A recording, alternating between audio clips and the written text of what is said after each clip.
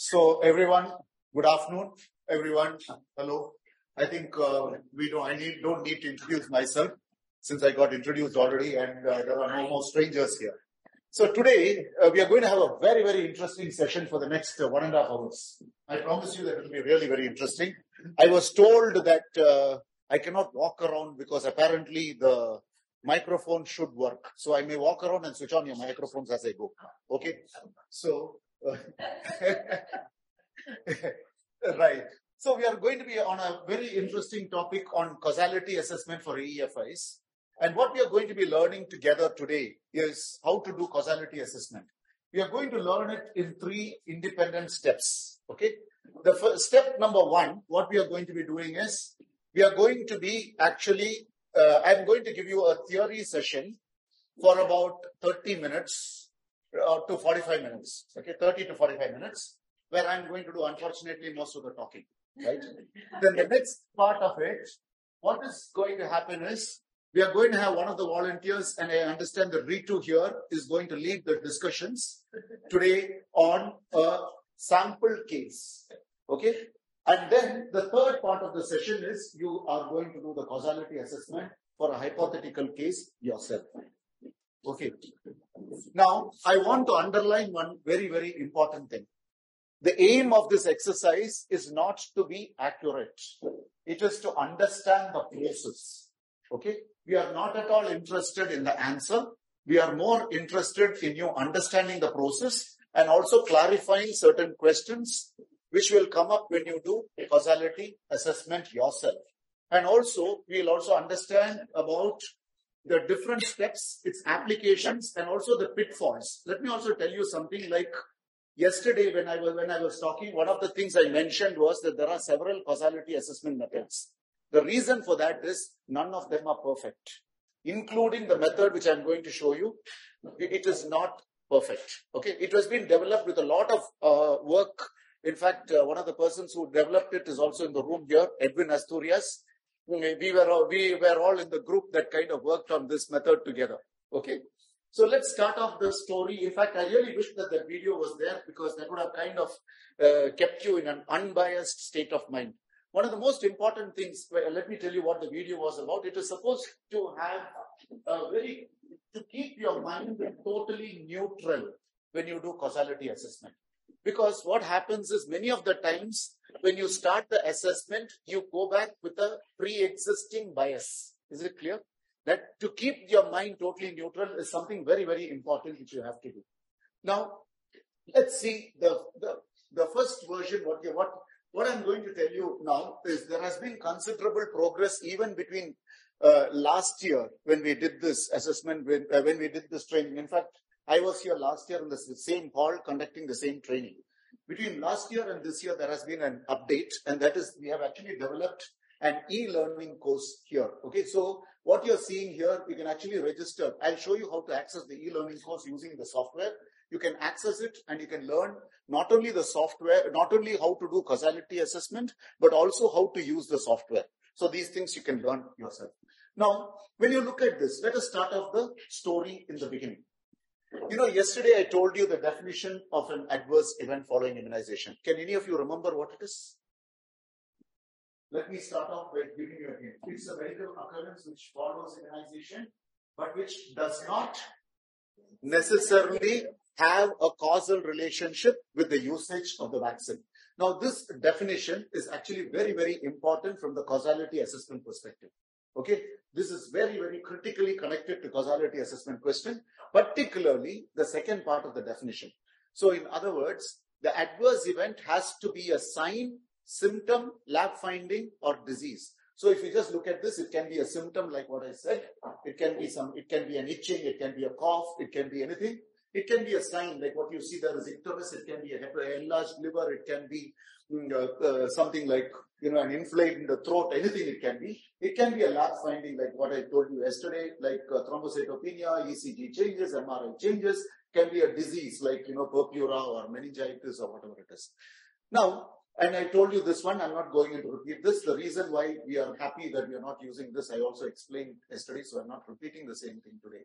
Now, this is something very, very interesting. Okay. You, how many people are regulators here? One, two, three. Have you seen this before? What is it? The classes between the What is it? goods and services. So Perfect. It was done for medicines. Okay. Now, originally, before uh, 2012 to 2013, this same method was actually used for vaccines. For medicines, this was the causality assessment, which is used even now. This is the WHO method, which is used even now. So, what you look at is you look at it in two angles, okay, on, on two dimensions. This is on one axis. If this is the onset of AEFI, okay, and here this is actually time, and that is alternate explanations. So when you look at time, and if it is an, if you, if there is going to be, if it is compatible with time, then you will, and if there is no other alternate explanation available for that particular event, you will call it certain and the event is related to the exposure of the particular medicine or the drug. Is it clear? Now, as you move outwards, it moves from compatible to incompatible. So it moves from certain to probable. Again, if there is alternate explanations might have been there, it becomes probable. And then if, again, if it is alternate, there are alternate explanations, it becomes possible, then it becomes unlikely, then it goes into, if it goes beyond this, it is unrelated, and then it is also, if it doesn't fit into any of this, it is classified as unclassifiable. Now, this particular system was originally used for medicines. And in fact, I, in 2009, when I was first trained on causality assessment, this was the med- system which was in vogue at that time. Now, problem was, I, I remember, you know, in that particular meeting, many people came in as friends, fought and went out as enemies. Okay. Because they were not able to agree on so many things. Okay. Now, what happened was, there was also, there was other issues which we, which we, why? Because people are not able to differentiate very well between probable and possible. That created a lot of disagreement. Understand? There was also another issue. See, you should understand, unlike medicines, vaccines is a very sensitive issue and mostly in the public domain. It's everybody is looking at it. In COVID and all, you must have been there. So if you just look at, I think many of you are from different uh, countries and you have different languages, right? Now, if you just try to translate probable and possible, in my language, you know, I'm, i speak Malayalam and I speak Tamil and all, but then I'm not able to translate it into uh, into a perfect level. It becomes very difficult for us to translate. So because of that, only this particular new classification came up. Now, this is an important definition which has actually come up, and that is, you know what? The, the, there is, this is, uh, when you look at causality and causality assessment, what is causality? Causality is the relationship between two events, the cause and the effect, where the second event is a consequence of the first. Okay? So there is a cause, like you introduce a vaccine or you introduce a medicine and there is an event which occurred and the, the second event is a consequence of the first and that is actually causality. Now when you make this assessment, you are trying to determine if this relationship exists between the cause and effect. You are trying to determine if this relationship exists and if you want to know to what extent the relationship exists. Is it clear? So that is the, that is causality assessment. Now what is most important is that a direct cause is in the absence of the, of which the effect would not occur. Let me give you an example. Now, you know what? Let us say I'm actually in the, it's evening, night time here in uh, Annecy. Okay. So yesterday night, for instance, I came out, there was excellent wine because of that on the table, right? I drank it. And then as I walked out, walked out of this place, the lights went off. Okay. And then there was a car which came and, and I was walking on the road putting my headphones on and I was listening to music. And then I was going on the lakeside, but then since I had an effect of the wine, I got out and I went to the road and it was totally dark. There were no lights. A car without headlights come and hit me and I died. Okay, let's assume lights. And what caused my death? Which one? The accident. Okay, what else? The wine contributed. Wine contributed. Okay. the headphones. The headphones. The headphones listening to music. Yeah. Anything else? The deafness. But you guys are missing the main point actually. You know what? Actually, the cause of death. You see, I asked about the cause of death. What, what actually killed me? It is actually the shock and the hemorrhage which actually killed me. You understand? So when you are looking at causality assessment, this is an important concept to understand. Okay. So the direct cause is the absence in which the effect would not occur. So what we mean here is the shock, the fact, the fact that I went into internal bleeding, that is what actually caused the death. All the other things, what you see, are cofactors which affect, which into which the event has occurred. Did you understand? Yes. So, when- so when you are doing causality assessment, trying to find out the underlying cause is the critical thing in doing this assessment. So the, the story, the, the underlying principle or the philosophy here is you should create the correct causality question. If you ask the wrong question, you will get the wrong assessment. Is it clear? So if you ask the question, did Madhav put the headphones and did he die because of listening to music? You will not get the right answer. You understand? So the, the, the, and so if you have understood this particular concept, I'm sorry, I, I can actually walk out of the door. You understand causality assessment, half your problems are over. Because let me tell you something, when that's in real life, trying to create this causality question is not easy. It's extremely difficult. Because at the end of the day, you can debate your, you can have a causality assessment committee sitting here and they'll debate for half an hour to one hour, trying to choose which question to put there. Because for this, I'm going to explain to you what is the meaning of the word valid diagnosis. Yes. Okay, so if, the shock and the hemorrhage was the cause of your death, but we don't put the shock and the hemorrhage in jail, we put the driver of the car in jail. Uh, exactly. So- that is a, that is, we can have a debate about Okay, that. okay, Yeah. You understand what I mean? We can have a debate about But that. was the cause of the cause. Because, yes, Okay. yeah, because those are the co-factors, which actually, because basically you are asking yourself, what really costs the death? What is the underlying cause? Okay, that is important, right? Now, this is something you have to keep in mind. Now, why are we doing this? Why exactly are we doing this? We are trying to avoid, we are trying to avoid, we're doing the systematic causality assessment to avoid concluding that the event happened after vaccination, therefore it happened because of vaccination. Technically speaking, ideally what you should do is you should take a population, divide them into a vaccinated group and, an, and a control group, follow them up, and if the incidence among the your unvaccinated group is then you need to find out is it greater or is it lesser? And then if the incidence among the vaccinated group is greater then you would say that there is a connection between the vaccine and the adverse event. But the biggest problem with this is you cannot do randomized trials in post-marketing surveillance number one. And in many countries like if you just look at it except in a few countries like if you look at Sri Lanka and all you have immunization coverage of about 95 to 100 percent right so you cannot actually get a comparator group. So it becomes very difficult for you to make comparisons. So this is a big problem. It cannot also be large enough to detect the thing. Now, one of what I'm going to talk to you today is actually taken out from this particular book. Okay, it's this book came out. This formed the basis of your present causality assessment methodology. That actually formed the framework. So in 2012, this book came out. And this this particular thing was endorsed by everybody, by all uh, people like you know Brighton Collaboration Regulatory Agencies and IVB and all these people. And that is how the and based on these definitions, it started off.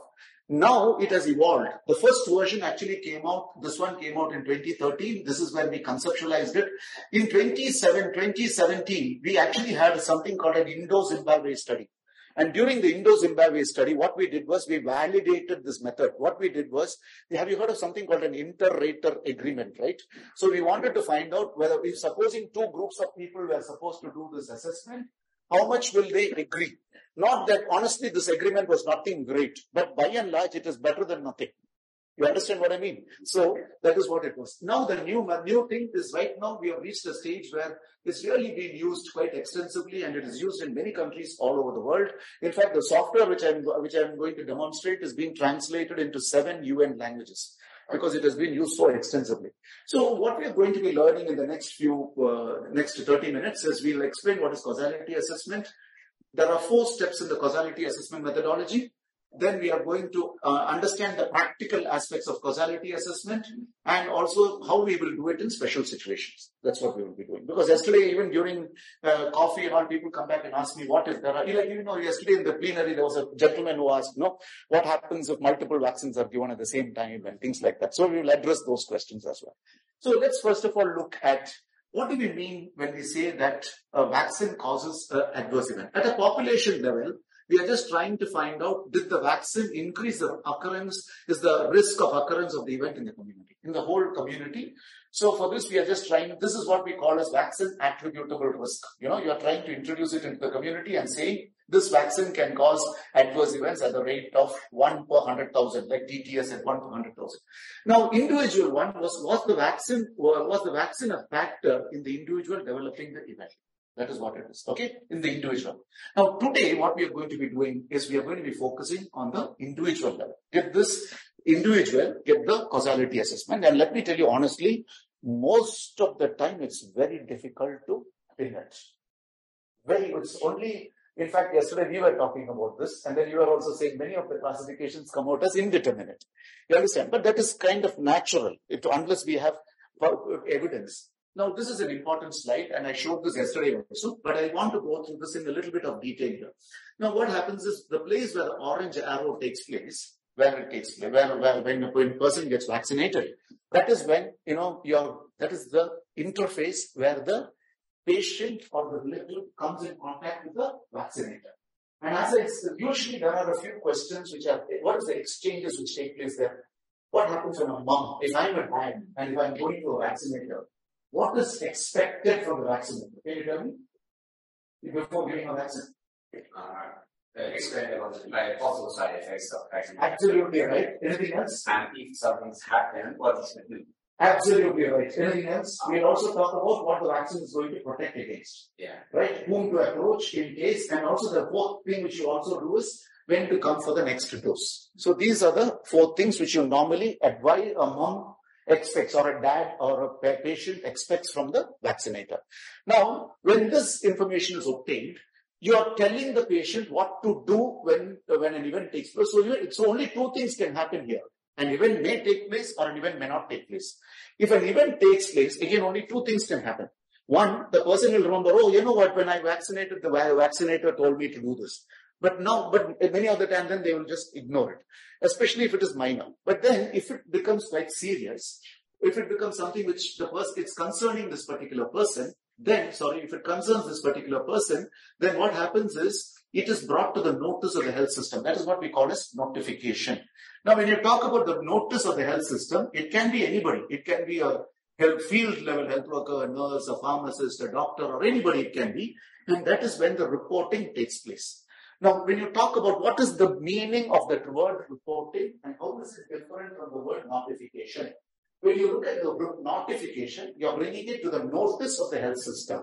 When you talk about reporting, you're talking about using a piece of paper and filling it up. You understand? You're creating a small report and that report should not be detailed. It is containing only 25 core variables. It contains only 25. I wish I had brought, uh, there was a picture of the reporting form. I have not shared it yet with you guys. But then when you look at it, there is only 25 core variables and then the report actually gets filled up with the minimum amount of information. What is the purpose of reporting? The purpose of reporting is to identify an event has been case, in which place, which vaccine, and what is the type of event. That's all. And for that, it does not need high level sophisticated knowledge. It can be done by a lay person. You understand? So now once it is reported, it is then going and then it is categorized into two categories. I explained this yesterday. It is divided into serious and non-serious. Do you remember what serious is? Death, hospitalization, disability, congenital anomaly, or uh, excess, uh, or any other medically significant event. So these are the five categories which which comes up as a serious adverse event. Now, what happens is so there is a reporting which takes place. Now, once it is reported to the next level, the person sitting as a supervisory level from here, okay, the guy, so the, sorry, the person who actually sits here as a supervisor to this person's will say certain cases need to be investigated. Now, what do you mean by the word investigation? when you, what- when we, what we mean by the word investigation is, we are actually asking them, so to actually fill up particular form called the AEFI investigation form. I'm going to be- share with you an investigation form very soon during the session. It's actually pretty elaborate. Okay, it consists of four pages usually, and then it contains a lot of interesting details. So this is what, what happens in this thing. And plus, in addition to this, it also, we ask them to collect all the clinical details of the patient. The patient might be admitted in the hospital, autopsy reports, community investigation, field investigation, etc. So when you talk about a field, and this is a real investigation which took place in Ghana. And in fact, we do, du- during one of our trainings, this was conducted. We, we make them visit the health center, collect all the details of that particular case. So So, investigation to mean uh, root cause analysis. no, it is actually a field visit where you collect all the details. From the field. Understand? So that is a field visit. Now again, investigations, since you asked this particular question, investigations are divided into two categories. Uh, Concise investigations and comprehensive investigations. Concise investigations are done when you are pretty straightforward cases. Like you, for instance, if there is febrile seizures after measles vaccine. For instance, if child is admitted in the hospital, it is a serious case. We don't really need to make a field investigation for that. But if there is a death, then you need to have a field investigation. You understand? So that is again divided into two categories. Now, what you then next stage is analysis. Now, what is done here is the data collecting from the reporting is actually put into a line list. I told you there is 25 core variables here that is put into a line list. It is actually analyzed and then that particular data, they look at it in terms of time, place and person to identify patterns occurring in certain districts. Is it clear? So that is what we do. Then the next stage is a stage among the serious cases which have been investigated. You are actually, what you're doing is you're actually doing a causality assessment. And when you're doing, sorry, uh, sorry about that. That's uh, causality, one minute. I know what this, this is completely confusing for me. Yeah? Sorry about this laptop. I mean, my laser pointer works the other way. That's the problem. Okay. So, so when you look at this, so what we do is we, uh, when you analyze the particular data, when you look, so this is a stage of data analysis. Serious AEFI cases which is investigated goes for causality assessment. So causality assessment is not done for all cases. Only for cases which are, which are investigated, you will do causality assessment. Okay, so this is one thing. Now, there is, this is something which we saw yesterday. No, I'm not going to repeat the same story again. So let us just go through it. This is a vaccine product related reaction, quality defect related reaction, which is a cutter incident. This is an immunization error related reaction. This is an immunization anxiety related reaction. And this is a coincidental event, right? Now, this is connected to causality assessment.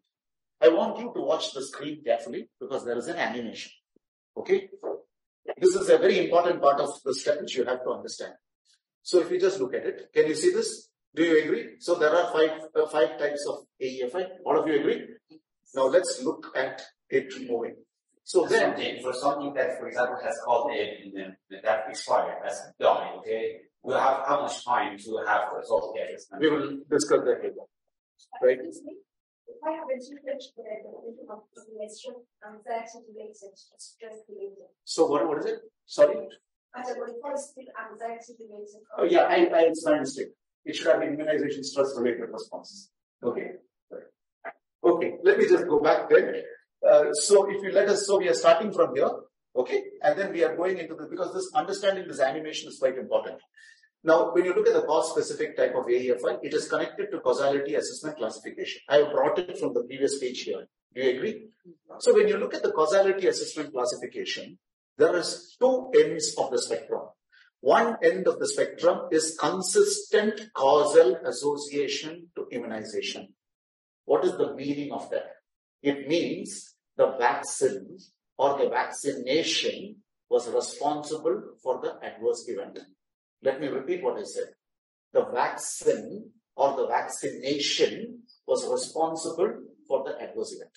So from here on the other end of the spectrum, you are having something called inconsistent causal association immunization, which means the vaccine or the vaccination was not responsible for the adverse event. Agreed?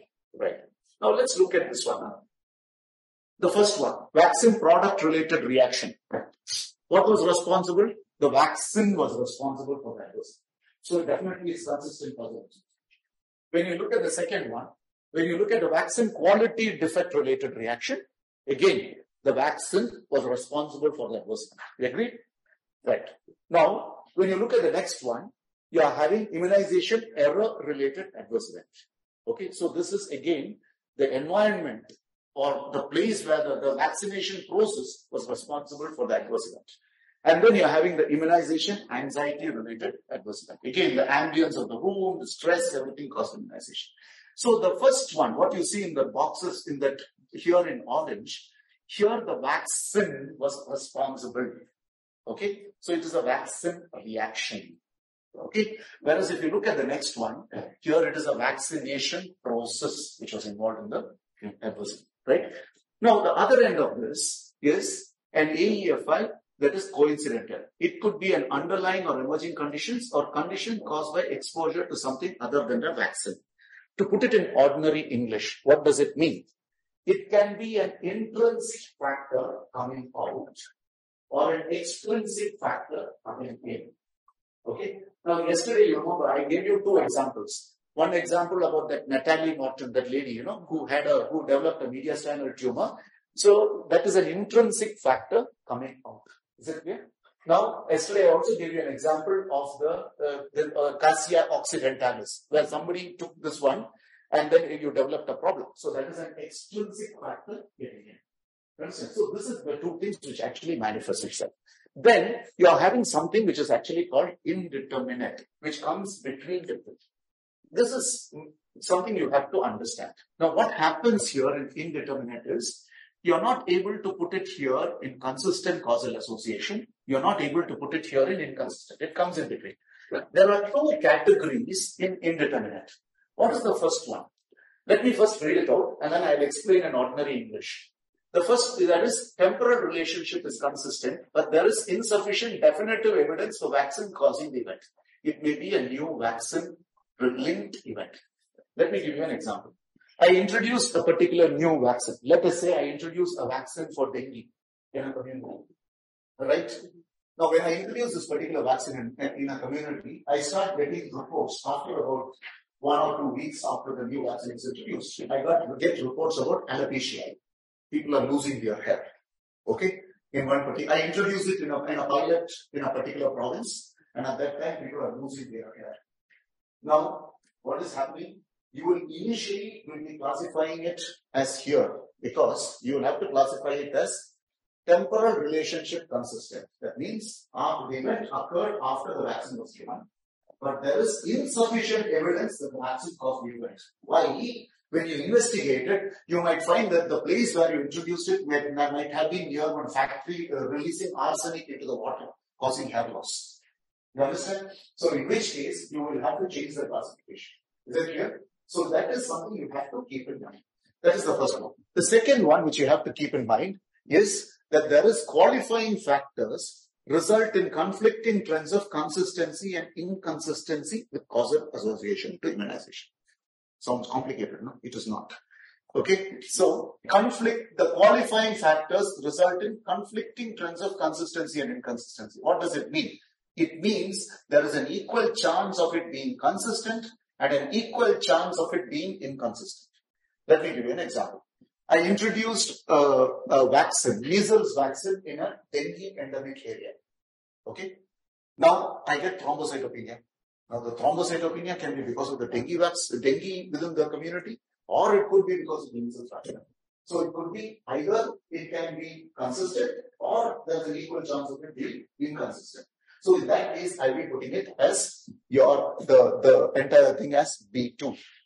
So that's it, ladies and gentlemen. The main part of the class is over. Okay. You can heave a sigh of relief. If you have understood this. know that means caused thrombocytopenia, but why is it not uh? I can understand. Because you are vaccinating in a dengue endemic area. See, the dengue also can cause thrombocytopenia, right? Yes. So you don't, you can, you, you have an equal chance of putting it as a vaccine product related reaction or a coincidental event because of dengue. Mhm. So now, because you're not sure, you decided to put under B2, under, right? So now what we also get is something called unclassifiable. So sometimes, let me tell you, not sometimes, several times, you classify and come and look at all this classification, you can still find that the case remains unclassifiable. Okay. In that case, you'll have to specify what additional information is required for classification. Okay. So that is what it is. Now, with this, when you look at it for reporting, no, when you look at AEFI cases, you need to look at cases which you talk about for reporting and also for investigation. So serious AEFI cases, as I said, should be reported. And when you report serious AEFI cases, you should always remember the reporter should not assess causality.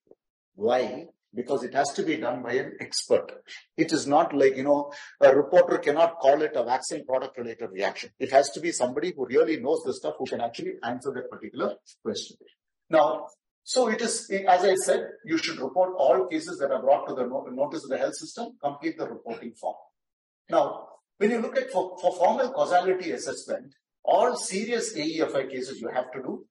You, uh, this is, I already explained what that was. You should do it for clusters. You should, if you suspect signals, you should do it. And also other AEFI, especially if you suspect immunization error, sometimes even if it is considered minor, even significant events of unexplained cause, if that also causes parental, uh, parental or community concerns, they also should be selected for causality assessment.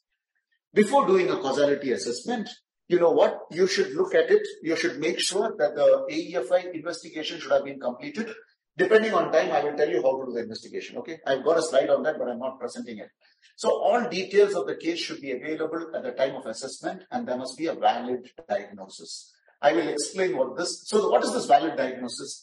It is, you know, a valid diagnosis. You remember I told you, no, when I, if I met with a death, you have to find out why I died. So the cause of death is actually the valid diagnosis. Is that clear? So that is what it is. So when you look at the, at the time of causality assessment, what are the things you need? You need a case report form, investigation form, clinical case record, lab reports, autopsy reports, and blank causality assessment worksheets. So now I'm actually going to share with you some blank causality assessment worksheets with which we can actually proceed and discuss in detail. So can you please share this?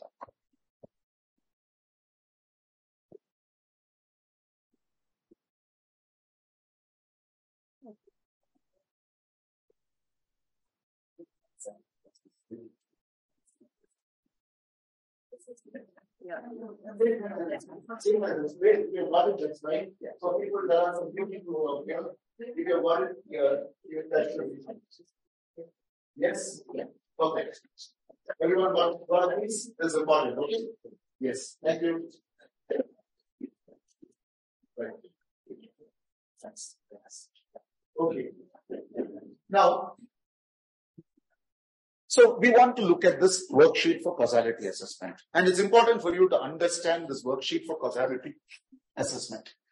Now, if you look at that worksheet in front of you, there are two pages, right? So if you look at the first page, the first page actually talks about the eligibility criteria.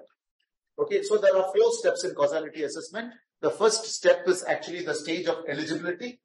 Now, if you just, so then, then the next stage, if you just see, is a stage of checklist, event checklist. If you look at it, there is a series of questions which are put up there and it is divided under four primary categories, right?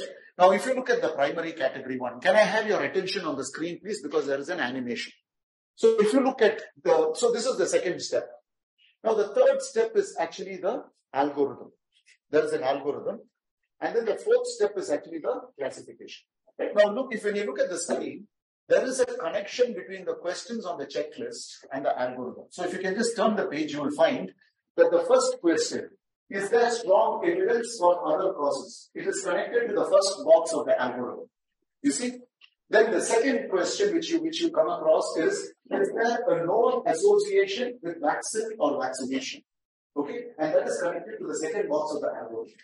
If you look at this, okay, it is categorized into questions connected to vaccine product related, quality defect related immunization error and immunization anxiety or immunization stress related responses. You see my point? So it's actually connected to those four. Now the next thing which is there is the green part. There is there any strong evidence against the causal association? It is connected to the green box here. And then if you just look at the last part, for other qualifying factors, it is connected to the last box of the algorithm. Okay? Now when you look at these questions carefully, those questions you have to answer. Let me tell you something. Can any of you guess how long it took us to work make this worksheet? How long did WHO take to make this worksheet? Yeah. It took us two years. Okay, and took us two years of sweat and blood and funds. Okay, lot of arguments and each word in that was dissected threadbare before it reached this one. That is why we had major problems with translation. We had major problems with translation. I remember taking a workshop in Romania where WHO guys had translated this one to Russian. And when they translated it into Russian, we should see the fights between the different groups because there are different ways in which Russian gets interpreted that. You understand what I mean? So it is a big problem for us when we translate this because each word is so important and the, the way in which it has been designed is so, with so much intro, with a lot of difficulty. Now, how do you answer this? If you look into this particular page, you will see you have to make only four answers here. Okay. There is a yes, there is a no, there is unknown or not applicable. Can you see that? So there are only four answers. Now, mind you, the way in which the questions have been designed is if you put a yes answer, if you put a yes answer, you should write the remarks. Is it clear? Hmm. If you put a no answer or an unknown or a not applicable, if you want, you can give a comment. Is it clear? If you put a yes answer, it's mandatory to put the answer. That is why when we, we developed the software for this. You know why? Because people were putting yes answer and not writing remarks. So right now, the way in which the software is designed is, if you put a yes answer, the computer will not let you move forward unless you put an answer. If the computer will come and tell you, hey guys, you better fill up that particular stuff. Okay, so that is why we prefer, from WHO side, we prefer the software compared to the paper. But then it's up to you to use whatever you want. Because some countries still use paper forms and we are okay with it. Okay, so that is it. So this is how the this one is done. And then the last stage is the stage of uh, classification. Okay. Now, one more thing which you should do. I want you to read this last thing which is given in yeah, in small font. The last box, you know, on the page two, there is a small box which is there, right? So there it says summarize the classification log logic in the order of priority. Okay. And then what is mentioned is with available evidence. Understand? So what we are again trying to say is what you put, if you give junk, you will get junk out. You understand? We are, we are always being very, very clear that with the amount of information you provided, this is how the case can get classified. Right? So that is something you have to keep in mind. So this is how, so this is generally, understanding this uh, two pages is uh, quite important. Is there any questions on that? I'm happy to answer. Yes, please. I do have a question on the number two. What's the events within the time window of increased risk? Did that vary or is there kind of a set window? Brilliant question. Brilliant question. That is applicable to all. So if you see, let me show you what she's just trying to point out. So if you see, can you see this? Is it within the time window of increased risk? This, if you notice, is light blue and this is dark blue. So only if there is a yes answer to any of these questions above in the blue part will this be applicable. Is it clear? Mm-hmm. For example, yesterday, let me give you an example, right? Like I'm giving her an injection. Okay, I'm giving her, can you give me the pen? I'm giving her a shot. Okay, I'm giving her a shot. As I give her a shot, as I pull out the needle, as I pull out the needle, she collapses immediately or she collapses after five minutes, after two minutes, or she collapses after 15 minutes. What will be the difference in the diagnosis there? What happens if, as I'm pulling out the needle, if she collapses? What do you think it could be? Correct. It could be an immunizing, it could be a vasovagal attack. Understand? If it occurred after about one or two minutes, it is probably a substance like what I gave an example about Syria yesterday. You understand? Some substance which actually caused uh, asphyxia or something like that, which poisoned the kid. If it occurred after about 15 minutes or 20 minutes, it is probably anaphylaxis. You understand? So you understand? So this is what we mean by the time window of increased risk. If you talk about VAPP, if you talk about vaccine associated thrombotic polio, the time interval for increased risk is 4 to 35 days. If you understand, if you talk about thrombocytopenia, it will be after about 10 days to 14 days. So that is what we mean by the time interval of increased risk. Very good question. Any other questions, please?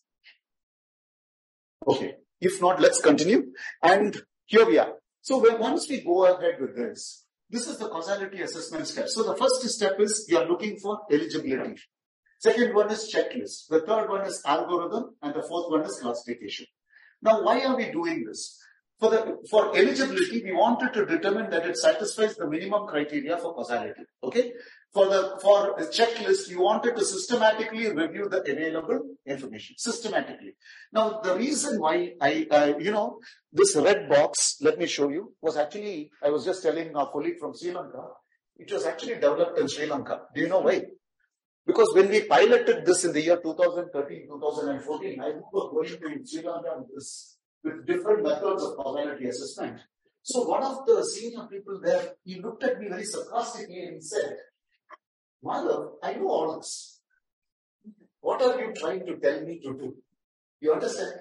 That is when we realize it's important to get that red box ready, fixed. That is the causality question. Remember, getting that red box fixed is the crucial thing in doing the causality assessment. This is related to what I just told you earlier. That is, you're just trying to find out what is the hypothesis you're trying to prove or disprove. Right? So that is what it is. So that, that we have the checklist, then we want to have an algorithm, and in an algorithm, you wanted to obtain a trend for causality, and then you're doing the final classification. So let us look at the eligibility. Now, when you look at eligibility, what you need to do is you need to make sure that the AEFI investigation is completed and all details of the case is available. Now, what happens in many countries, especially in the middle of COVID, they do piecemeal investigations. You understand what I mean? And then they would have said, okay, do the assessment again. No. Before you do the assessment, the committee should certify saying, I'm satisfied that the documents available are sufficient for me to proceed with assessment. If you don't do that, then you cannot do the assessment. That's very, very important. The next thing is to identify one or two, one vaccine implicated or administered before this event. This is the question which came up yesterday. Now, simultaneously, you may get on one hand your pentavalent vaccine, on another hand, you may get your BCG, on another hand, one drops, uh, you may get a few drops in your mouth and all that. But even if you do multiple vaccines are administered, you can take, do causality assessment for only one vaccine at a time. Now, when you mean one vaccine at a time, it doesn't mean one antigen at a time. You understand? So if you give pentavalent vaccine, you don't need to divide it into diphtheria, pertussis, blah, blah, blah. You'll have to do that one set of vaccines together. Is it clear? And then, so that is something you have to keep in mind. You, uh, and you, for each vaccine, you should do it separately. And the most important thing is actually the valid diagnosis. So you need to find out which is your unfavorable or unintended sign, lab finding, symptom or disease to, to where you wanted to determine causality. Now, you should also have a case definition, like the Brighton definition. If your Brighton definition is not available, you can use your textbook, like, you know, Nelson's textbook of pediatrics or something else, but you need to go with a standard definition. You can use a national definition. If you come across something totally new event, you can even think about a national new definition or any other approved definition by a group of people, by a group of approved people. So when you look at eligibility, you must, as I said, it must be complete, uh, the investigation should have been completed, identify vaccines, identify the lab uh, sign symptoms, and also the Brighton definition. Now, when you look at the causality question, look at that very carefully. Yeah? This is the very tricky part of the whole thing. What are you asking? Has this vaccine or vaccination caused the event? So what are you trying to find out? When you look at it, you are just trying to find out, has this vaccine caused hepatomegaly? Has this vaccine caused thrombocytopenia? Or has this, has the patient complained that the vaccine caused itching and redness, which is an example of a symptom? Or has the vaccine caused meningitis? Okay.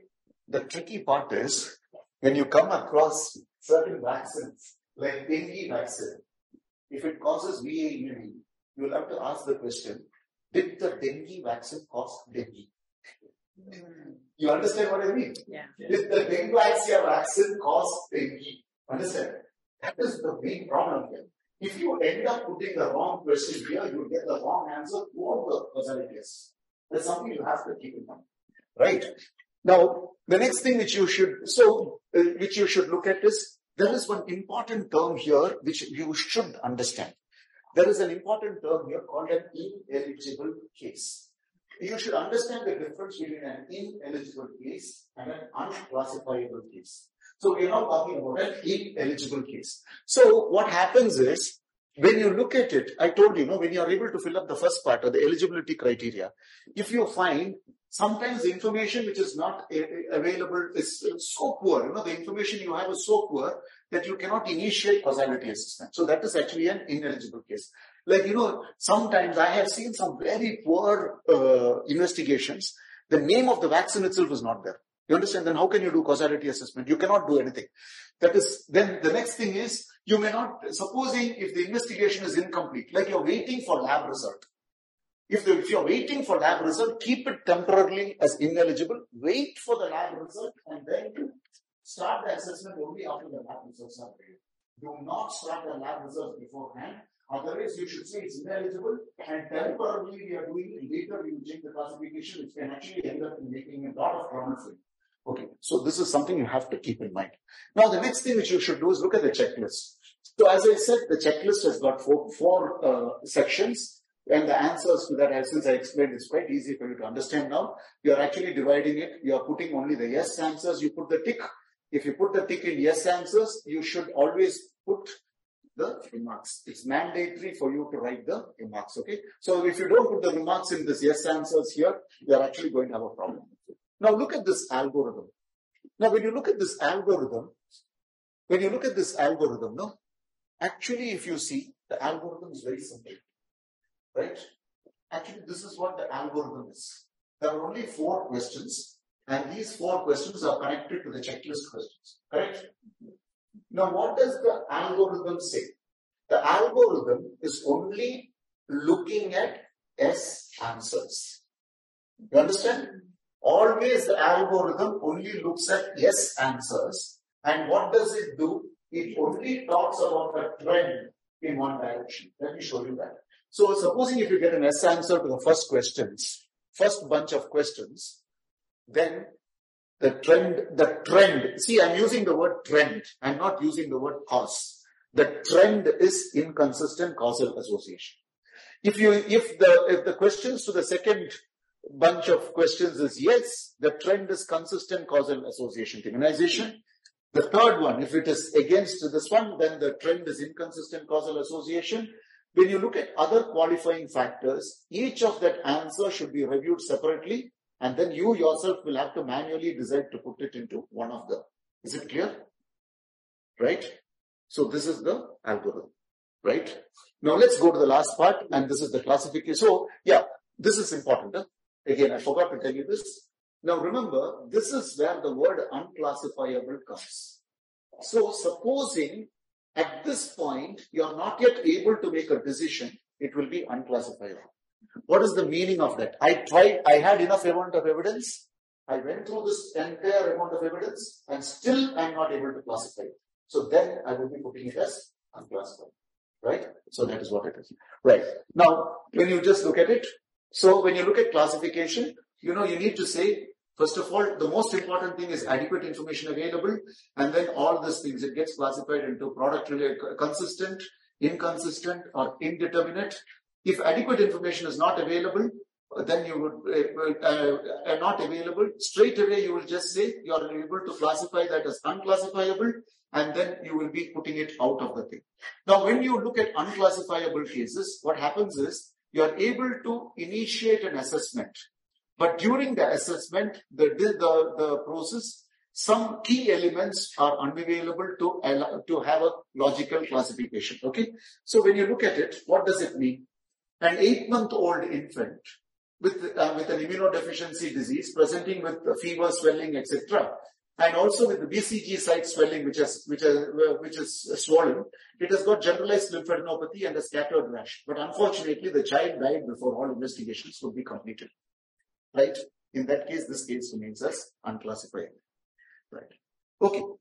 Now, one more important thing, you know. So you should understand, like supposing as I am actually sitting coming here and taking this class here in front of all of you. Suddenly one of you gets up and asks a question and if I collapse here and die, you cannot say, you know, this person asked a question, Marvel died. You understand? You have to say, When this person asks the question, is aneurysm in the brain ruptured any time? Or he developed a heart attack any time? Or he developed a stroke any time? You understand? So when you create the question will be, did this stroke kill him? So when you look at causality assessment, why I'm trying to tell you this is, many times we have found that many forensic people, including forensic pathologists, they say that due to vaccination, it cannot take place. There must be an underlying cause why the person died. You understand? So you should say the aneurysm killed him or the stroke killed him. Then the causality question should be, did this vaccine cause the stroke? Did you understand? Not that did this vaccine cause the death. So that is how you have to change it. This is a very important concept you have to take, take home with you. Now the next thing, we have come towards the end of our session. Who should do causality assessment? Ideally, it should be a team which is independent. You remember yesterday I said, no, the EPI program and the regulators should not be part of the committee. They can be like lawyer. They are okay. We are going to a jury. This AEFI committee is like a jury. You are going to the jury and providing them with the documents. But then you should fight your case. You understand? But the decision is made by the independent jury and not by the EPI program the jury there should have strong expertise like infectious diseases, epidemiology, microbiology, pathology, neurology, etc. Now we are including people after COVID, like, you know, geriatric uh, population, uh, obstetrics and gynecology. So many people, we are also including them. It should have a very clear terms of reference. You can use an existing drug causality assessment team, but they need to be trained for vaccines. Now, so the main part, just remember that this is almost the last part of my slides. The main part is actually the valid diagnosis. The first conclusion may not be final. Now, you should remember something, you know, when you look at causality assessment, when you look at this checklist, for instance, and when you do the final classification, when you do this final classification, you can put check boxes for multiple things. You don't need to put check boxes only for one thing. Is it clear? And, and we always see, like when you look at your, as a clinician, when you talk about chest pain, a cause of chest pain can be lesions in the skin, costochondral junction, it can be pleura, pericardium, etc., etc. So same thing when you look at causality assessment, there can be multiple reasons for that. So you need to prioritize that. So the first conclusion can change and then the causality can also change. So when you look at multiple vaccines in the same patient, each vaccine should be assessed separately. If you get multiple AEFI in the same patient, each event should be assessed separately. And when you look at a cluster, each patient in the cluster should be assessed separately. Right? So what can go wrong? This is the last slide, I hope. Causality assessment is not done, not systematic, not done, done by trained people or not done on time. And then sometimes the report is so limited that you cannot do it properly. Sometimes, you know, many of the countries, especially, you know, this is what happens in many countries which we see in Africa. They have, they lack expertise. Activity committees go doing a form, formal causality assessment is very difficult. Sometimes the data is not used and also there may be lack of communication of the findings, sometimes lack of uh, diplomacy or cultural sensitivity. So the law, this uh, causality assessment scheme, actually what happens is it is very simple. It is very convenient. It uh, uses the CIOMS guidelines and all that and uh, it is uh, major criteria for affecting causality. Now, more one important thing is please remember causality can change. Like TTS before January 2022 was classified as indeterminate. Now it will be classified as a vaccine product related reaction. Intussusception is now classified as a vaccine product related reaction if it is connected to rotavirus vaccines. You understand? So earlier it was classified as indeterminate. So that one changes. So I think I'll stop there and uh, this is the last slide. Thank you.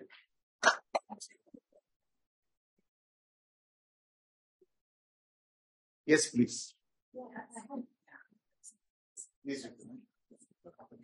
I just want to understand a little better. In part of the criteria, you said you need an investigation report in order to go ahead into to do the causality. But you also said it can be unclassified if there is no investigation report. So I'm a little confused because if you need to go to the causality, you need the no, report in first. that case, it will become ineligible. If the investigation report is not available, yeah. it will go into ineligible. Eligible. Okay. If the investigation report is available and all documents are available, then it will be, you review it and still you are not able to classify. In that case, you'll be classifying it as an unclassified. Yes, please. Thank you. My question is from the academic folks. Can you mic? The Uh, the question on the red box, the question of uh, Was the creating opportunity. yeah eligibility. So when you're generating it, do you use the the trade name of the vaccine or a non-proprietary name? For example, will you say the uh, mRNA COVID vaccine caused this, or you say the Pfizer mRNA caused this? We will go with the trade name or with the vaccine because within brackets was the generic product. You understand what I mean? Because what we need to do is when, when somebody does a causality assessment, between products itself, there might be some differences. You understand? Between, for instance, between Moderna and the Pfizer mRNA vaccines itself, there is a, there is a big difference between what it is. Because even, even things like, you know, what temperature it will get stored, what temperature, even though it may be a platform might be identical, there might be differences. So you always use the, brand name within brackets, you can always do that. You learn it when you are doing the software. That will be teaching you. Right? Yes, please. Um, you you said this thing about you could have a situation where you had dengue vaccine causes dengue, but for some vaccines you have an adverse event of vaccine enhanced disease. vaccine associated analysis. Yeah, and and sometimes you see that during the clinical development programs, and that is um, manageable. And sometimes you don't see it, and then you put it into the risk management plans as an important potential. That's effect. That was yeah. the. Yes, but it's so difficult to qualify that when you get post-marketing reports, whether it's vaccine enhanced disease or whether it's just vaccine failure. How do you do that? Yes. Yes, the answer is I don't. know. Yeah. Can you give me the answer to that? Yeah, I don't. know. Yeah, yeah. She's an expert. Yeah, because that is just, it's just, it's impossible to, to narrow in. Agree. Oh. I'm sorry, I'm also- I was hoping for it. That uh, when this uh, dengue issue uh, blew up, I was actually, I had to go and answer on behalf of WHO to Philippines. It was one of the most difficult AEFI committee meetings I ever attended. Mm. Yeah, I'm sorry, but I cannot give you an answer about it. Anyone else? Yes, please. Eh, in the immunization program when you're giving multiple injections on the same vaccination visit and someone comes with an AEFI which needs like how do you now determine is it the IPV, is it the pentavalent, is it the PCV? How do you go about that kind of an investigation? So you should be putting the same causality question for each of those okay. separately. Okay. And then doing the assessment separately. And then only you can do it. You cannot mix up all the vaccines together. Similarly, if you get a cluster of cases, you should, this is also sometimes very difficult. If you may get a cluster of 20 cases. You should do the causality assessment for each of those cases in the cluster separately. I'm sorry, we can't, there's no shortcuts to that. If the 20 cases have the same symptom, should Even you then we should do it because we have found out, like for instance, uh, there was this episode where we started getting cases of meningitis in Bhutan, for instance. And uh, what happened was it, it occurred all over the country, and when we did the assessment separately, we found out that it is coincidental, but because of different causes. You understand? It may be reported around the same time, but the etiology with similar clinical manifestations might be different. Yes. sorry. The last question. This this question two was the event in section two within the time window. Correct. What is the time window we we, we, we say for vaccination? How So it varies from vaccine to vaccine and circumstances. You remember I gave you the example regarding the uh, uh, fainting or anaphylaxis or VAPP. So it varies. There is actually a table which to some extent, again it's not very accurate, uh, but to some extent gives you the time intervals.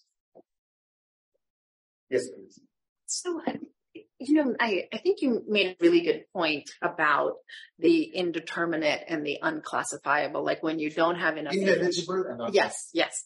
Um, and, but sometimes you just don't have either the right information or enough information. How do you manage like the need to wait? Because sometimes people are like, I want this now. I want this now. Tell me, how do you manage that? Okay, let me give you an example. So, supposing if you develop anaphylaxis in the United States, for instance, they would insist on serum tryptase, right, for making a classification. But if it happens, for instance, in uh, Kalikanayakanpalayam village, in Thondamuthur block, in uh, Coimbatore district, and if they are doing an assessment in Coimbatore district, in my place, you don't wait for the serum tryptase. So that is why we are saying in those, in that particular circumstance, you are certifying that the information is sufficient. So before you, in fact, when you start using the software, you realize we are, you are also making a certificate. You are certifying that you are satisfied with the amount of available information. If you are not, if you say I'm not satisfied, straight away the case goes into ineligible.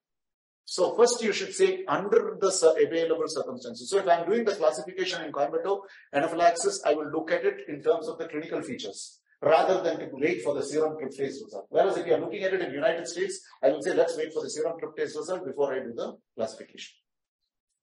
Right? Any other questions? No more. Wonderful. Thank you very much. So I'm glad that I finished my part of the talk. Now it's over to you guys. Yes. In addition to that table that has the time frames, is there a table with all the expected adverse events for all the vaccines in the immunization Okay, program? if you look at, we cannot give you all the adverse events. For instance, Hmm. what happens would be, and also finding out the time frame is not very easy, like what happens. Because again, you should ask, people keep on asking us, why can't WHO tell us this? Honestly, we don't know the answer unless there is someone publish, who publish it.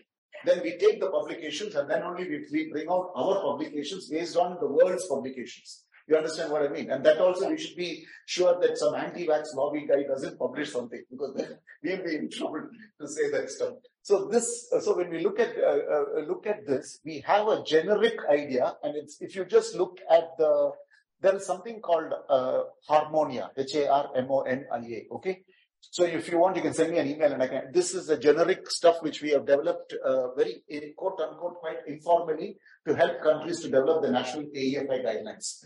So if you want, you just send me an email. I can send you the template for Harmonia, which you can customize it to whichever country you want. The word Harmonia needs to be replaced in case Lesotho wants it. Find Harmonia, replace with Lesotho, and you'll get the Lesotho guidelines. And that will be the starting point to start your guidelines. Many countries have started using that because then it becomes very easy for them to develop their guidelines. That has got a table which will tell you that. Yes, please.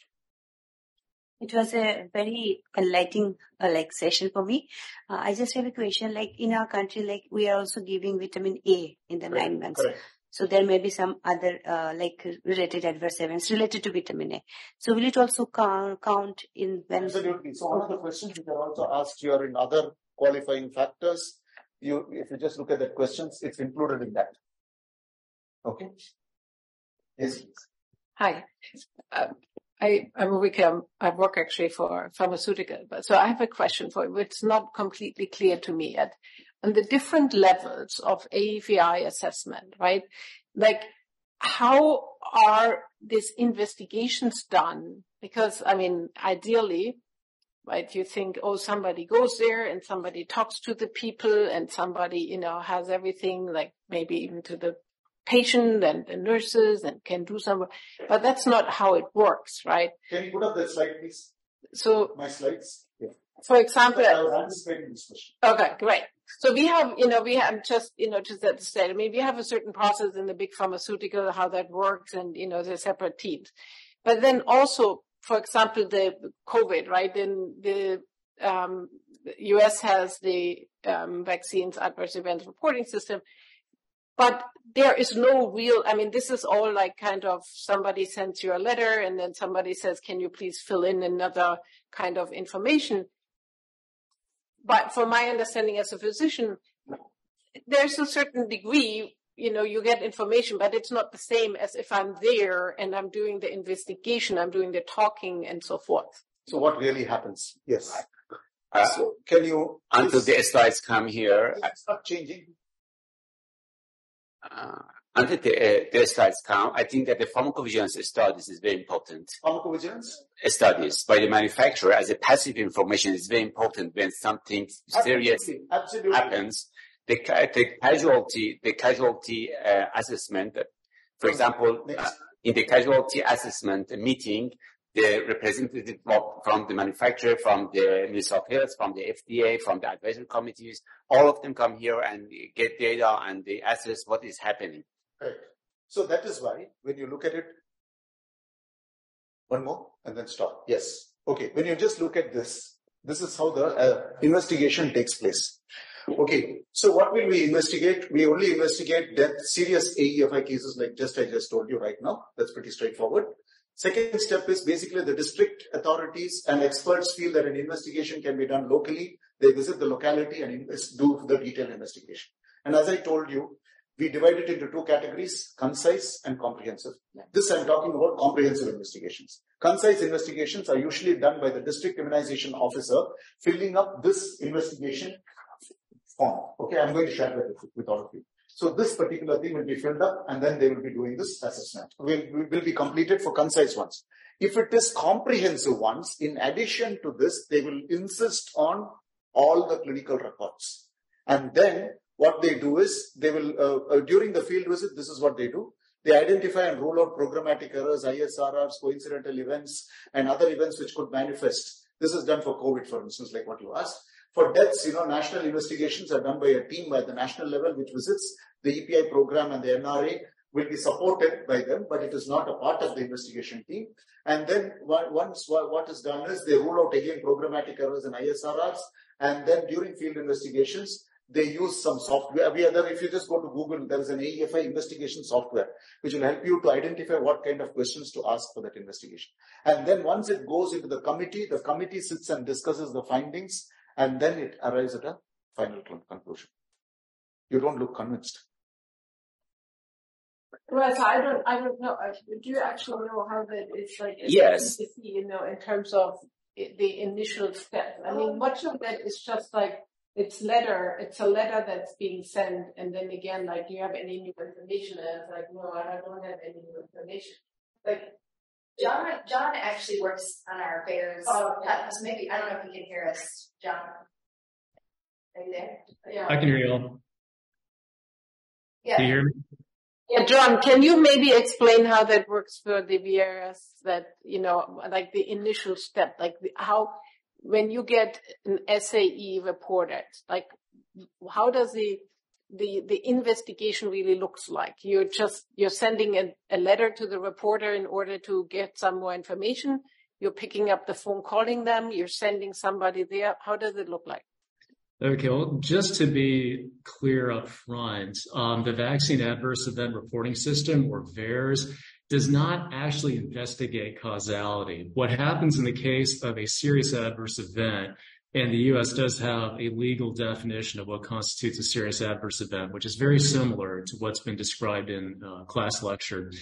Um, what will happen is that VAERS will get in contact with the person filing the VAERS report and try to kind of obtain more information. Um, and so what that will entail is obtaining contact information, then reaching out to the patient's clinical provider, reaching out to the hospital uh, for medical records if that's where uh, the patient was hospitalized.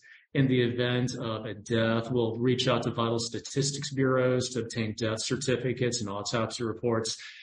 Essentially, VAERS reaches out to get as much information, additional information as it can about this particular patient.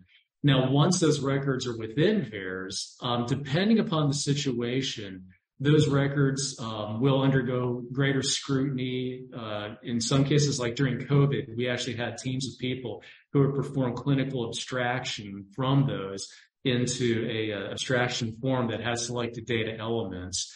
And then all that data would be used for analytic purposes. Um, but we never use that information for causality assessment, in part because VAERS is a passive surveillance system, and generally you don't want to be using a passive surveillance system or the data from it to make any assessments regarding causality. It's just there are too many reporting biases and other issues. Um, so that's just a brief nutshell of how VAERS operates. Okay, well, th- thanks. That clarifies. I was not aware that you go to that detail of getting the information. Thanks. Sure. Okay. Thank you very much. So I will go to the next part of the session because otherwise we will be going on sitting here forever. It's already 3.30 per day. I can't believe that the time flies. Okay. So as I said, we are going to the second part of the talk here. Uh, in fact, uh, what I would do is can I request Ritu please to help us out with the second part? Because what we are going to do, can you guys all open your laptops? Can you go open your laptops and then Ritu is going to just take us through this uh, and I'm going, to, uh, you know, you got the sample case, right? Which I just provided. Now, in case any of you want it, I can again send it to you. So what is going to be happening is you will do the causality assessment using the software yourself with Ritu in the links, Okay. right? All right. Anyone wants a copy of this? Yeah.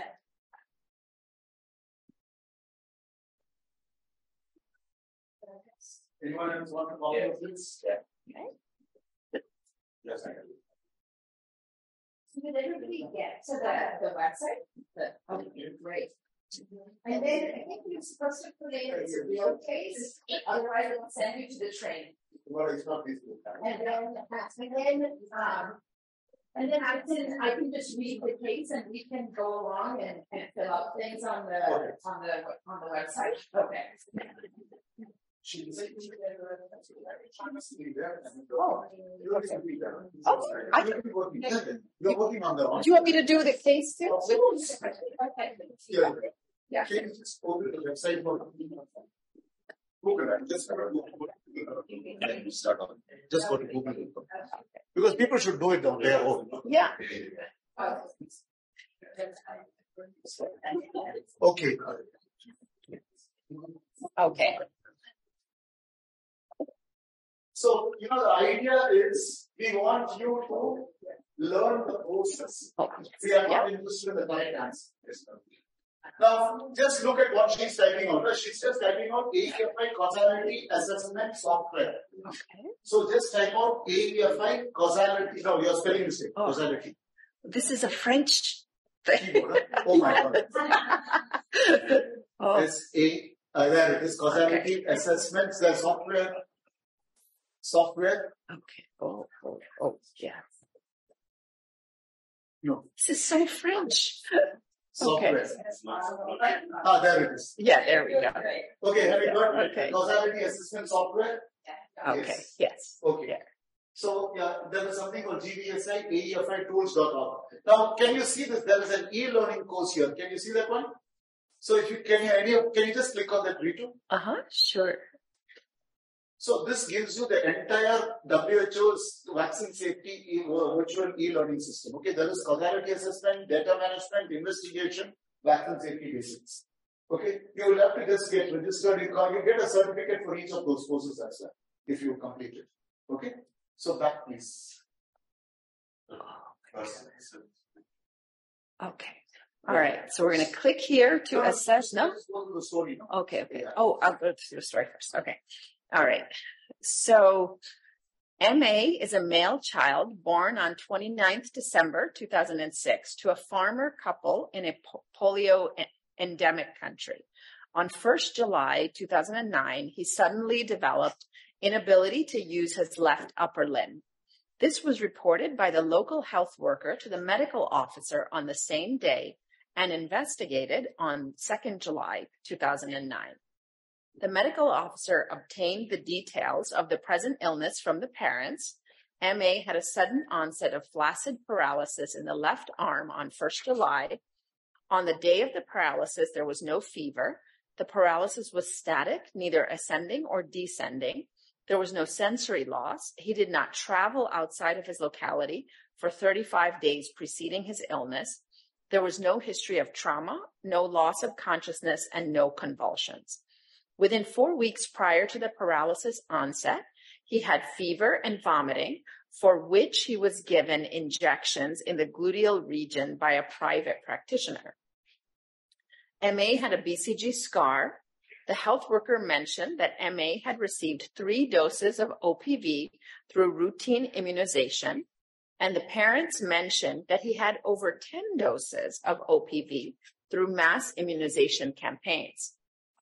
The last OPV before paralysis onset and stool sample collection was administered on 7th June 2009.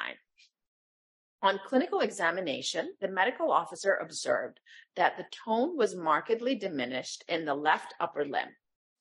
There was power of 0 over 5 in the muscles of the wrist, forearm, and upper arm.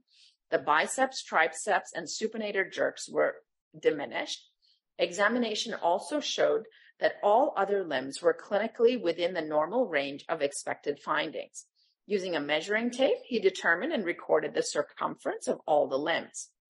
To test for the presence of enterovirus, two stool specimens were collected on 2nd July 2009 and 4th July 2009. Each specimen was of adequate volume and sent to a WHO accredited laboratory in good condition and good condition without desiccation, leakage, and with the adequate documentation and with evidence of the cold chain maintained. The second stool sample isolated Sabin type 1 and type Sabin type 2 strains of poliovirus. The medical officer re-examined MA on 9 September 2009 and observed that the tone was diminished in the left upper limb compared to the right. There was improvement in the power in the muscles of the wrist, 4 over 5, forearm 2 over 5, and upper arm 2 over 5. The biceps and triceps supinator jerks were still diminished. Examination also showed that all other limbs were clinically within normal range of expected findings. On measuring the limbs, he determined that there was wasting in the left upper arm. Okay, so should we go through now and do the, the causality assessment? Okay. All right. So, so I think we have to click, do you want to assess a real case? Because we are going to come back and do the e-learnings. Okay. So what is what you see on the second screen here? You're having a second screen, so I'm actually going to give you instructions in parallel here. Okay? So what you're seeing on the second screen here will be happening in parallel to what the ritual is taking, right? Okay. Mm-hmm. So this is where you're right now. Okay. All right. And then, um, and so, right, then we click through the yeses on everything, right? Yes. Here we If go. you happen to click a no, then it becomes ineligible. Okay. Okay, if you click a no, then it goes, takes a different track and it becomes quite ineligible as uh, like this. Can you see this on the smaller screen? If you can you see the smaller screen here? So if you just happen to provide a no response, then it moves into a different screen altogether called an ineligible screen. I'm sorry, Gitu, you cannot see that. Oh, that's okay. I, I can actually see it over here. Yeah. So yeah, please proceed. Yeah. Okay. So the, so we'll fill this out quickly. The assessor name. Whoa, goodness. French.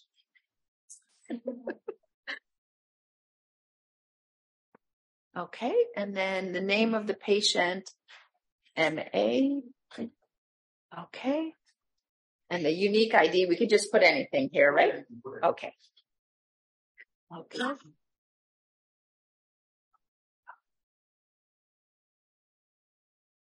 And then the date of birth is 29 December.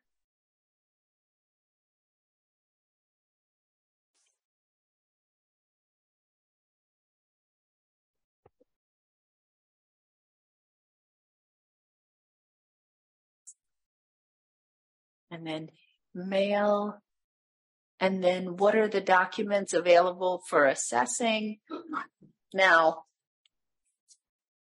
is this a completed case form? I guess it's not really a No, completed think case form. just put, uh, uh, yeah, you can just put, uh, I think I think there's an option for other, no? Isn't there? Oh, other. Okay.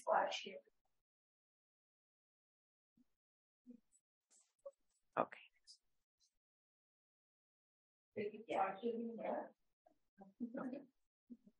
You can put partially completed or is. Okay. Yeah. according to whatever you want, okay? As I said, this is, we are not really very interested in activism. But difficult for me. to- It is okay. It's okay. and the quality of these documents, um, I think we say it's pretty good. It's excellent. Average. I say good. Okay. All right. And then, um, name of the vaccines administered before this event. So we have information about the OPV, right? So I think it's just the OPV. Does, do we see other vaccines too? Or it was, just- Then it is other polio, it's polio injections. vaccine trivalent, right? yes, yes. So oral polio vaccine, trivalent. Okay. And the brand name is unknown, right? We don't know. And then is, What is a valid diagnosis? This is the tricky question. hmm,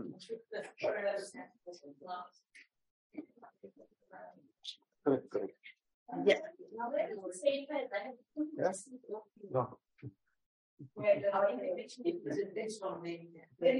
Oh, actually, we don't know. Yeah, you're right. Yeah, it doesn't say that it's. So it is an driving acute flaccid paralysis, like uh, Is there a Sri Jana was uh, suggesting. Is that okay with everyone? Acute flaccid paralysis. Yeah.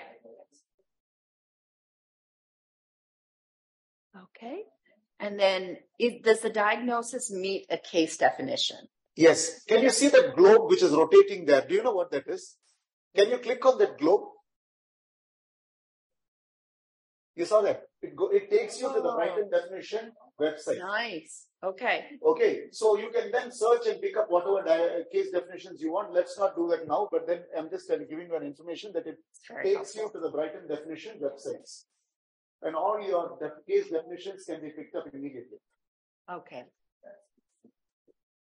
So Madhav, in your expert opinion, this, this fits the Brighton collaboration definition? Yes. Yes, yes. Okay. You, no, no, you need to just put, uh, uh, just put the uh, XXX there, you know, just for the present judge for. But ideally you should write out the, Write out can the copy from there and paste it From the there. Brighton. Okay. Okay. So you need to go to the Brighton website, copy the definition and paste it. Or if you don't decide to do the Brighton definition, uh, you can even put other definitions, whichever you want, but put a definition. Okay. Okay. All right. So are you satisfied that the causality question is correct? Yes. Yeah, if you put no, then you'll be in deep trouble, huh? Yes. is, Because then it will make you redo the whole thing. Yes.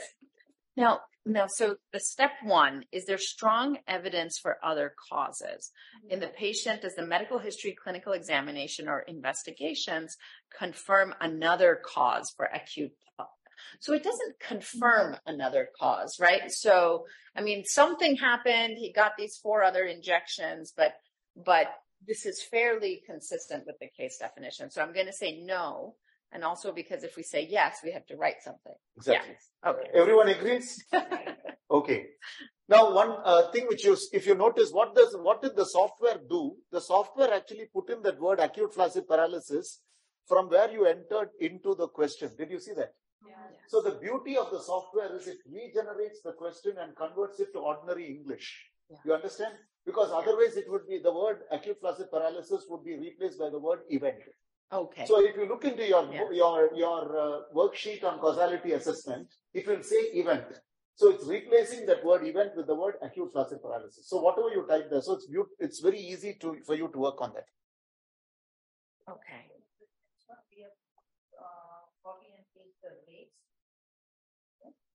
Oh. Okay, can you Ah. read the next question, please? Okay, so is there evidence in published liter- published peer-reviewed literature that this polio vaccine oral trivalent may cause such an acute flaccid paralysis if administered correctly? And so shall I click the globe? Yes, please. Okay.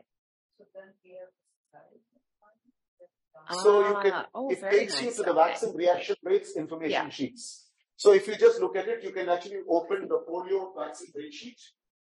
Okay. You know, can you go down? Can you go down? Okay. Oh, sorry. So there is different vaccine rate sheets. Can you see that? There must be a polio vaccine rate sheet. There it is on the right side. On the right here. Okay. If you get that the problem, I don't hope you use it. No, no, go down. It's with the polio. Ah, yeah, Yes. Okay, So so you if see you- this? yeah. So you can always find black there. Uh, Oh, like- okay. So you can always say, so you see what I mean? Oh, this is nice. No, no, no, you go back, go back and, uh, go down, go down.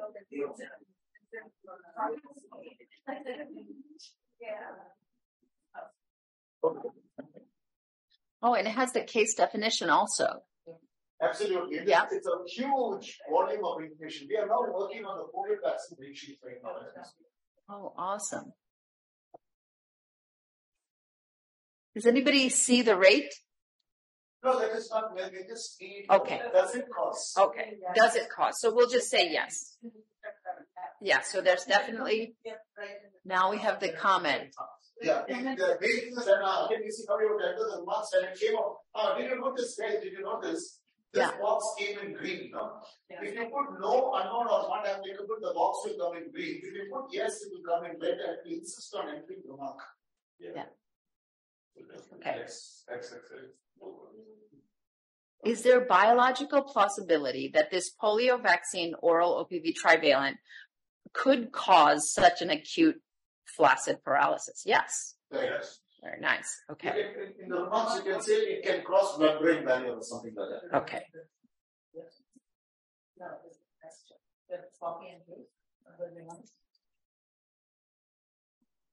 Okay. All right. Now, in this patient, did a specific test demonstrate the causal role of the polio vaccine? Yes, right? Yes, you isolated it actually from isolated it from the stool. Sabin type 1, no? Okay, yes. Sabin type 1 and 2 isolated from stools.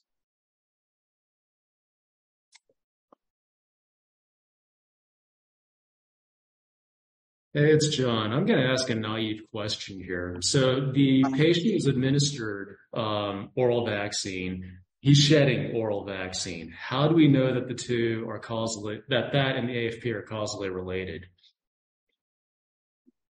No, that is what we are trying to uh, to assess. You know, we are not trying to say. Uh, we are we are saying that if the see if you just look at the WHO classification of uh, of uh, polio, if you just look at it, uh, there is a, a classification which says that uh, if there is a stool, if it is isolated, and if there is residual paralysis, then it causes paralysis. There is a classification scheme. I, uh, it is there actually in the red book of uh, AFP surveillance. It is mentioned there. Okay, thanks. Okay, and then um, could the polio vaccine given to the patient have a quality defect or is substandard or falsified? How would you say that? I mean, I guess we don't know, but yeah. So, so I guess I would say unknown there, right? Okay. All right. So now it goes to the next one, immunization error. Just Okay. a quick Yeah. announcement. You have only another 15 minutes and the bus leaves in 15 minutes. Okay. Okay. I was informed about that. Sorry. Okay. All right. We will go very fast. in this patient, was there an error in prescribing non-adherence to recommendations? Yes, right? Because he got 10 doses or maybe 13 doses. No, No? he did, but I think the current policy with the new campaign is don't necessarily oh, have to check if they've got inheritance. Like, Okay. You are not really, well, necessarily not really causing harm and problematic, and it's not easy to always assess if Mm. it's harm in use. Okay. Okay. So I will change it to no. Yeah. Yeah. You know what? Let us quickly finish off the process because you need to understand what will happen. I need Okay. to help you to generate a PDF document here. Okay. So in the patient. Yeah, even if it is very inaccurate, it's okay. We need to quickly finish. sure. Otherwise, we'll have a problem. I'll just assume no, right? Yeah. Yeah. For all of these. Yes. It's okay. Don't worry about that because I, I want to help you to understand the process. Yeah. Okay. All right. So now we go to immunization anxiety. So no, right? Correct. Okay. And then The answer to that is yes. yes, it's yes. Okay. So, as I said, it is within 4 to 35 days, but then it, I think it occurred within 23 days of paralysis. Huh? Occurred within 23 days of paralysis. Occurred within 35 days of paralysis. Okay. Yes. 35 days of vaccination. 35 days of 35 days of vaccination. All right. Very good. Next. Okay. Next. Okay. Is there strong evidence of causal relation? Yes. Against Against. Oh, against. Oh, no. Sorry. Okay. And then other qualifying factors. So we didn't have this, right? No. No. Okay. Um, and then unknown, right? Unknown. unknown in this one? Yeah. No, no, no, All right, that's no. I just know. Uh, okay. Yeah. Yeah. Okay. Could This- be, It's, yes, the answer Yeah. to that is yes. Could, that- it could, could have been a background rate. We can mention other causes for paralysis. Other causes for paralysis. For paralysis. And then the, question four is, did the patient have a the answer to that is yes, because was given an injection previously for unknown illness, injection, other illness, in- other injection given, just, yeah, Yeah. given. okay. Something like Yes. Uh huh. Okay. All This right. one would be, the next one would be unknown. Question five would be Unknown. unknown. Yes. Because we don't know. Okay. And uh, uh, this Um, again would be unknown. No? Unknown. Yes. Okay. Okay. Watch very carefully. Yeah? This is important.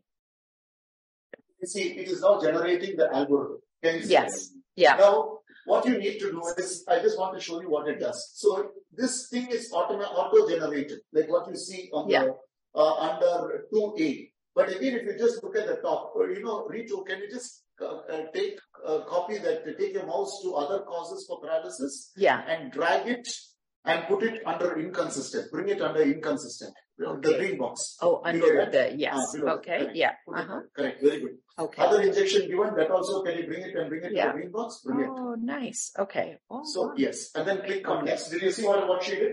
Yeah. Then you click on next. Yeah. Right. Now this is your Whoa. causality classification. Okay. Now remember, if you put any answers within your unknowns, like how these are going to be just in bring it as drag it and bring it. Okay.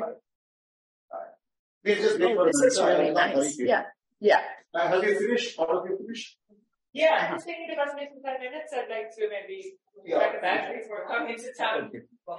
Okay, so no, no, if you want to leave, you can. right? No problem. Okay, so now what happens is, can you, one important thing at this stage would be, like you can move this up and down. Huh? You can actually move this boxes from green to yellow, or yellow to green and all that. Okay. You can move it according to what you want, but let's just click, click as next. Oh, Can yeah. you see that? Okay. Yeah. Yeah? Yeah. So you can move it and then you click on next. Yeah. Yeah. So what you need to do is, can you click on the red box here on the top called classify? Yeah. And then, so it is a, is it a vaccine? If it crosses the blood-brain barrier, is it a vaccine product related reaction? Yes. Yes. So can you drag the, cross the blood-brain barrier and bring it to the central box? See, this dragging was not working for me yesterday. I think No. there's uh, something fine. No, no, no, it's very simple. One Okay. minute. Can I help you? Yeah. So you just come here, Ah, drag it and bring it here. Oh, Okay. So I'm just dragging it and bringing it here to make it easy for you. Yeah. Right. And then I click on next. Same, there is, you put one as indeterminate here. No, no problem. So then you just put next. And then this is also next. Then you need to click on this. So now you have two options here. One is your, uh, uh, this one, like vaccine. Can you put number one here? Vaccine product related reaction? This one. Yeah. Yes. Put number one. One. Yeah. And then put number two here for coincidental. No, in this How do we get these numbers to work? I'm sorry. This one. Put Yeah, a number yeah. here. You just need to type Yeah. out two. See, it's harder than it looks. No, it's two.